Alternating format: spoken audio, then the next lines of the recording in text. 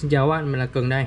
Hôm nay Cường sẽ review cho các bạn cái chai nhớt Motul Scooter LE 5W40 này. Thì xe của mình mới thay nhớt xong và mình xài cái nhớt Motul uh, à, Scooter LE 5W40 này ra. Thì đây là cái nhớt mà sau khi mình chạy 2.000 km thì mình sẽ đánh giá cho các bạn về cái loại nhớt này chạy nó có ngon hay không thì trước đây mình xài cái loại nhớt này cái thời gian mà mình mới chạy xe tay ga chạy cái chiếc Novo này cường chuyên gia xài cái loại nhớt này luôn. Thì à, sau đó một thời gian chạy đâu đó khoảng 4 năm bình gì đó cường bắt đầu đổi qua các dòng nhớt nó cao cấp hơn. Thì cái chai nhớt Motul này là chai nhớt tổng hợp 100% luôn. Thì theo như bình thường á chai nhớt tổng hợp 100% á tổng hợp hoàn toàn á hay là fully synthetic á thì các bạn có thể chạy được 3.000 km nhưng mà sau 2.000 km mình xả ra thì nó sẽ như thế này. Nó rất là đen. Và nếu mà mình so sánh trực tiếp với lại các loại nhớt mà tổng hợp hoàn toàn mà nhập khẩu từ châu Âu á thì cái chai nhớt này à, nó không có bằng đâu các bạn. Tuy cùng là 100% tổng hợp.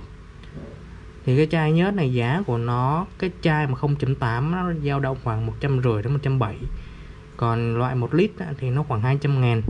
Còn các loại nhớt mà tổng hợp hoàn toàn và nhập châu Âu á, thì nó dao động từ 200 ngàn đến 300 ngàn.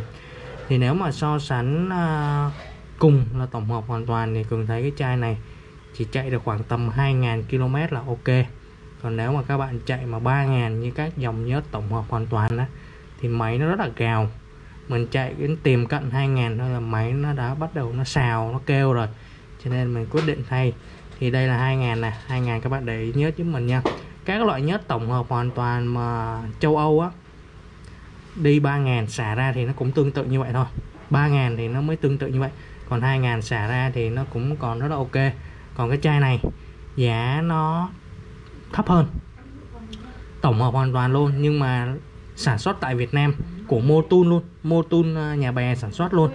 Nhưng mà hàng Việt Nam này không bằng những cái nước châu Âu các bạn đây thì đây là câu trả lời cho các bạn. Thắc mắc là nhớt Motul LE5W40 chạy cho xe Tega có tốt hay không? Đó thì mình đánh giá sơ bộ các bạn.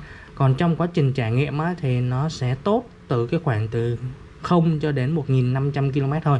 Thì lúc đó máy nó ok êm ái nhẹ nhàng mượt mà. Thì nếu mà các dòng cao cấp hơn thì các bạn cũng khó cảm nhận được cái sự chênh lệch cái độ mượt mà hay là êm ái lắm nó cũng êm như là các dòng xe, các dòng nhớt mà nhập khẩu châu Âu.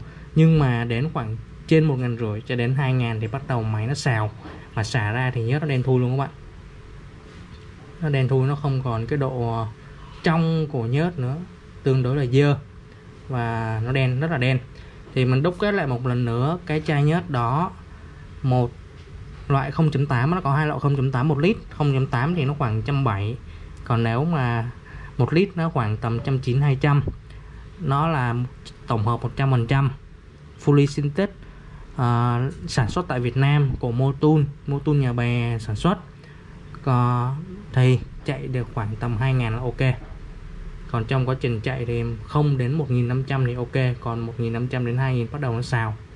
Nó kêu còn nếu mà so sánh lại các loại nhớt cũng là tổng hợp 100% luôn nhưng mà các loại nhập từ châu Âu hay là các loại mà hàng nhập khẩu á, như là German Gold có 215 nè hay là Shell ờ, Advance Ultra 10 W40 5 W40 gì đó nó khoảng 207.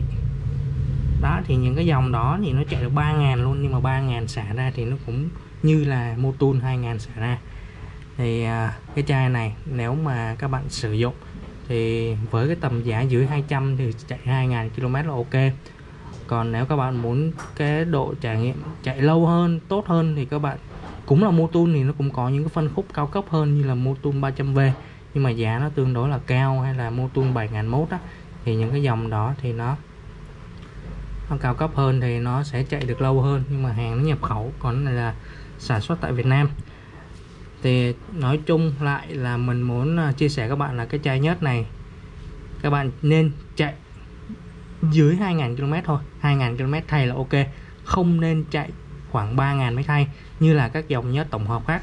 Tuy tổng hợp hoàn toàn thì các bạn có thể hoàn toàn chạy lên đến 3.000 nhưng mà 2.000 nó đã ra như vậy rồi các bạn. Rồi, cảm ơn các bạn đã xem video của Cường đừng quên subscribe kênh youtube của Cường. Để đón xem nhiều video về các chủ đề xe cộ nha các bạn. Cảm ơn các bạn rất nhiều. Bye bye.